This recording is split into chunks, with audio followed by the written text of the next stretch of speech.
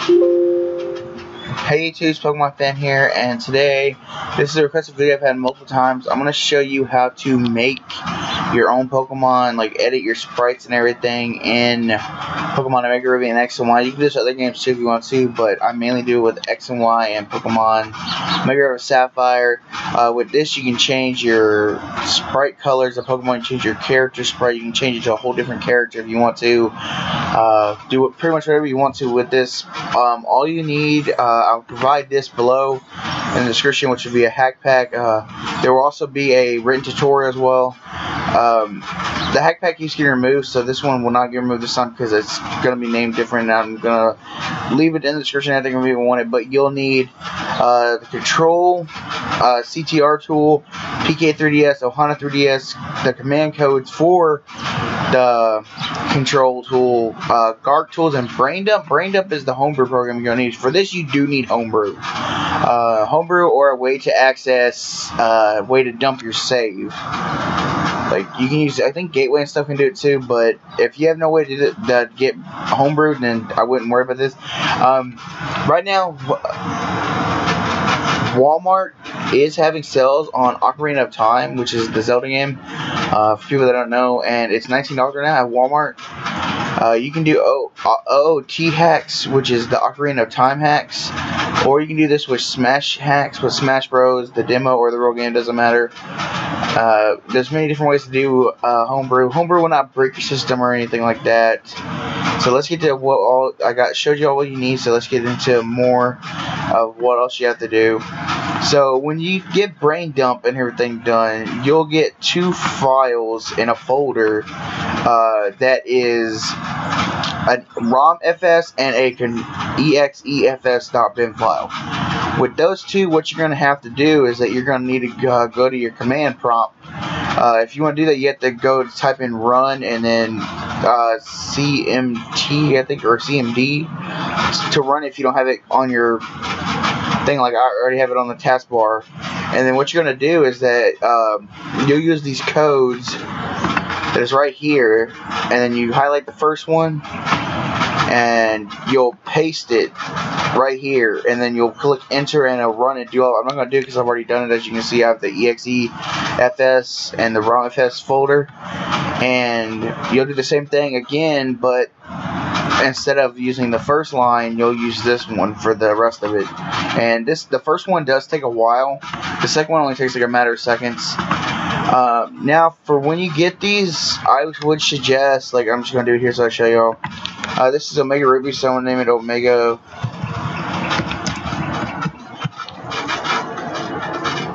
Just like that, and then uh, you drag your ROM FS folder in the EXEFS folder to there. Uh, it doesn't take very long to do that, and then once you do that, um, in case you mess up, I would suggest keeping your ROM FS folder and everything there in that file. Then when you get that, you'll just open it up, and uh, the ROM FS is where you gotta do everything. But uh, for the this the sake of the other thing, I'll do it later. But see, this is what you need. Uh, you have to go to. Uh, you don't need the control panel thing no more.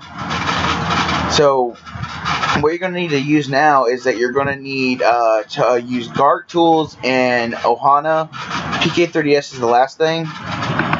Uh, what you're going to do is that you're going to press A and then go to 0 and then 0 again and then number 8 what you'll do is that you'll drag it over with uh, I'll open it up. Uh, tool which is this right here you'll drag it over and it'll take and um, the way to get it to where it doesn't take forever for it to work, uh, for it to take to repackage everything, is that you press Control, Alt, and Shift, I think it is. And um, it, will be in the description in the, the little hack pack 2 thing. So I guess I said it wrong. And then when you drag it over and stuff like that, it'll make them into a different file.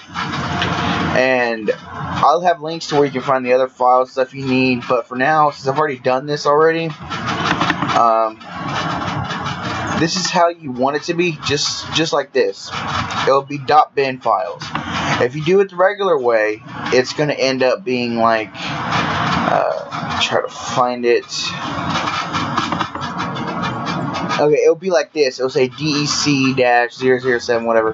But GARC Tools, by using the bin file with GARC Tools, it will make it turn into one of these files. But it's best to have it as the bin file instead of this, because this can take up to, I think mine took three hours because I made a mistake. And then once you get done, everything you're supposed to do with GARC, with uh, with GARC Tools and whatever Pokemon you want to do, which I will link in the description. Well, not link, but in the hack pack, there'll be this, which is a list that my girlfriend made that has every Pokemon, not alphabetical order, but in, you know, from, not like alphabetical order all the way, but it's from A to Z to every Pokemon, and it goes by their numbers and everything, easier you find.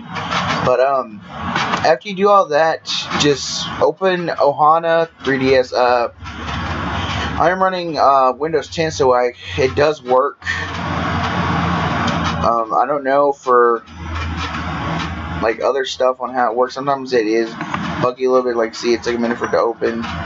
Um, it did work on Windows 8. I suggest getting the original Ohana, which will be in the hack pack, because the, the Ohana Rebirth is really confusing to me and stuff. But what you want to do is that you'll find uh, a model sprite. So I, I have to like try to find it. Uh, see, I already found Bulbasaur. And then uh, the best way to find out which one is the color sprite, the the sprite color itself is uh is two down. So 003 is Bulbasaur, so 005 is its color. As you can see right there now, it's a fully colored in Bulbasaur. Um, try to zoom in on if I can. Okay, so that's the best I can get it to zoom in because I'm not using a mouse. But as you can tell, I don't know why the Vine Whip thing shows up, but you can just edit the colors and everything and see what I'm going to do is I'm going to just do a quick little thing for y'all. Um, what you're going to do is that you're going to export it and then make a new folder and I'm just going to name it Bulba. And then tap on this part. Do not um, don't automatically click OK because when you do that, it won't do it the first time. So you gotta make sure Bulba's highlighted or whatever name you name it, and then don't dump it in there. So after that, you're gonna need Photoshop, uh, Paint, but I mainly use Photoshop. You can use Paint, any kind of thing you want to, but there's ways to get Photoshop for free online. Um, I know people think it's a bad thing and stuff, but that's what I do. Uh, that's how I got it. Um, Photoshop is like not expensive. It's just that I don't have the money to spare for it, but uh, there's ways to get free. I'm not going to link that because last time I did a video like that, I got flagged and I want to eh, do that again. So what you're going to do is that um, you can do this one at a time if you want to or whatever. I do it all at once. And this is just an example I'm showing, so it's not going to be like the perfect picture. Um, I'm to you got to worry about the eyes because see the eyes have the cut like that green so you have to make sure you click on everyone that you can find that does with this. Or if you want to to make it easier go through it and look through every picture to find out like that which one is the right ones. Now sometimes when you use Photoshop uh, with this with Ohana on it does contend to make Ohana like crash for some reason. I don't know why. But we're just gonna make a I guess like a a red Bulbasaur um, now, see if you're using Photoshop, see, because I'm I'm using Photoshop and I already have it set up. Uh, Photoshop is just more easier to use for me.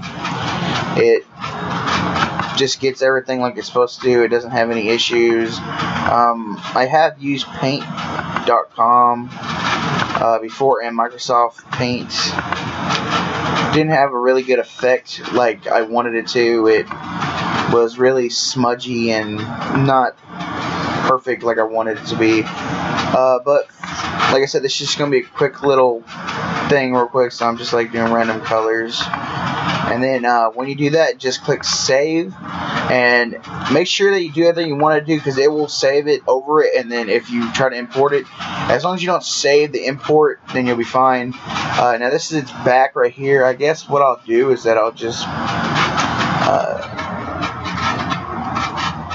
make it like a light blue, I guess.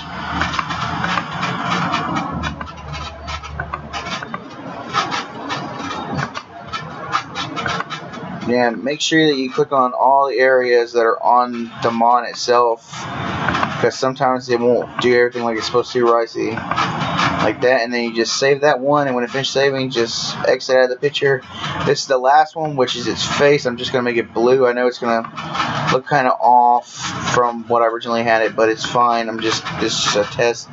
to show you. And when y'all do that, just get out of Photoshop. Don't exit out because if you're going to do mul multiples of these, uh, it's not going to work right. And what you're going to do is just go back up to body A and then click import all because if you have it on one of the other things and click import all, it won't do it. It'll say that it was wrong or whatever. Um, it usually say it's wrong file or something, but it imports it all. It does take a couple of, like, not even a minute to import it. And then when you get done, you'll have this as the end result. Like, see, I just did this as a test. So pretty much a whole, let me try to zoom in on if I can.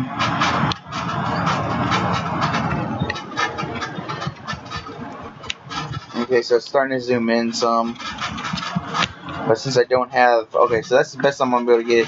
See, it's a whole red Bulbasaur with blue-looking eyes and of light blue uh, sack thing it has with its fine with being blue. Uh, now, these sprites do go everywhere when you do this. Uh, so when you're done doing it, you just click save, and it will automatically save it, so you can automatically get out of Ohana if you're not if you're done. Um, so it saved it. The files are here and everything. If you want to like screenshot, take pictures, show whatever you want to do with it. Uh, that's what's good about that. So now, once you're done and everything is finished, uh, you're going to need to go to PK3DS now, which is this program right here, which is going to be in the hack pack as well. Um, I already have it on here, so all I have to do is go to it. Um, I'm going to let it load up a game I already have on there, so it's going to say uh, loading override option. Uh, if you have a Mega Sapphire loaded up as your dump, press yes. X and Y, press no. Cancel the board if you want to do it. I'm going to say yes because I'm using uh, Omega Ruby. Well, this one Alpha Sapphire, but Omega Ruby is the one I dumped already. I'm going to work on Omega Ruby myself. Uh, so what you want to do is let this load up. It'll take a minute to load, which I don't know why it does that. You can try to make it bigger and stuff like that, but it doesn't always work. It makes it bigger like up, but not down. Uh, it does detect. The reason why you need dark for this mainly is because when you repackage it and everything, dark is going to be like that. Um, now, what I'm going to show you in a minute, in case before you do this, what you're going to have to do is that um, you'll need to use GARC tools when you're done editing stuff. I forgot to mention this part. When you're done editing and everything with your file, what you're going to have to do is that you'll need to uh, I'll show you just to I'll make sure this is the Alpha Sapphire one. Uh, name the exefs to e, exe and then dot code dot bin is what you're going to name the code file that's in there. Um, go back to the ROMFS folder if you, eh, in case you already skipped ahead and we're on this part already. Uh, go back to the Pokemon number, which is 8. Um, if It's going to be a folder when you first do it, so what you're going to do is drag the folder to GARC Tools, click Process, and it's going to re-put it into a file, and it's going to say 8.garc.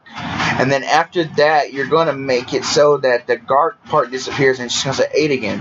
But make sure you delete the original 8 and the, the folder before you change the name from Dark GARC to 8 because if you don't, it will confuse it and it will override and combine. I think last time I did, they combined both of it and it made the sprites all weird because they tried to override it and it didn't really work right. Uh, but once you do that, you'll be able to do this, uh, which is load up this PK3DS, this is how you rebuild it. Uh, now with this, see, if you don't have the EXE named EXE and then the code uh, bin file named .code.bin, you will not be access be able to access the pickup, the TM, HM Mark, Move Tutor, or O Power.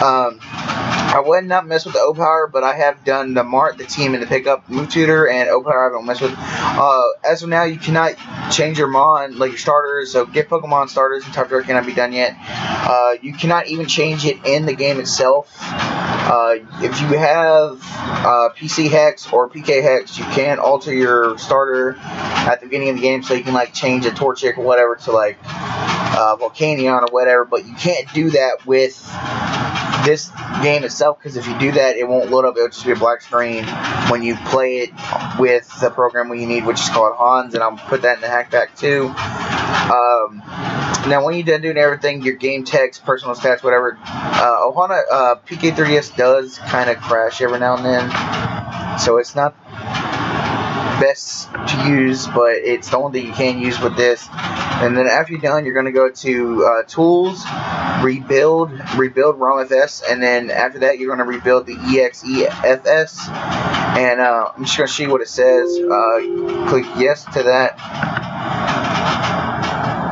and then what you're going to have to do is that you'll need to name it. Uh, it'll just say binary file. What you're going to need to do is that whatever the name of your game is, like your when you dump it, it'll say zero zero or something like that. Uh, what you're going to have to do is that you'll have to rename it to where it has eight. So I'll have a link uh, for those two names there that you have to name it as. And you have to do this for the ROM. You'll have to have it as a dot ROM file and a dot uh, exe file for that one. But the exe one, do not do uh, just just keep it the same. Like I'll show y'all just because I'm getting confused here myself because I forgot you have to do this too. Uh, when you build the exe, just click yes and then you're gonna just build it like that, let it save, and let it finish. And then when you're done, everything's it out of Ohana, uh, PK3DS, not Ohana, sorry. And then um, once you do that, you're gonna need to uh, use the CRT manager again. So that means you'll need uh, this one again, this bottom one only, this one right here, and extract it again. And then when you do that, you'll need to get the code part out of the file. So just the code part, and it's gonna you'll name it the name of the game. The zero it'll be zero zero one one uh, C five hundred. I think is that I think it's our Sapphire, and that's what you're gonna need to name it to. You'll need you'll need to name it uh, dot code. So when you do that and load it up with Hans, which is another homebrew program, uh, it will allow it to load up to where you can your um, TMs and stuff be randomized. Uh, for the second part of PK3DS I was talking about before, the reason why you had to name the exe file, the folder of that. Uh, but if you can do this with um, CIA files, I suggest you do that. Um, I have bad luck with CIA files. I've dumped xorpads and everything with no luck, so I gave up. Uh, I, if you have xorpads like this, you can you can do that. If you can go online and stuff like that. But if you use Hans, with this, you cannot go online because it will ban you up to 21 days. Because the even though you're using an actual card or an actual download you pay for, uh, it will still read it as hacked because you don't have an X header on the the Hans file, so it won't work. Um, but everything will be in the description below. Uh, a file, the folder, and everything will be in the description below, and a link. Um, if you enjoyed this video, give it a like. Pokemon fan signing out.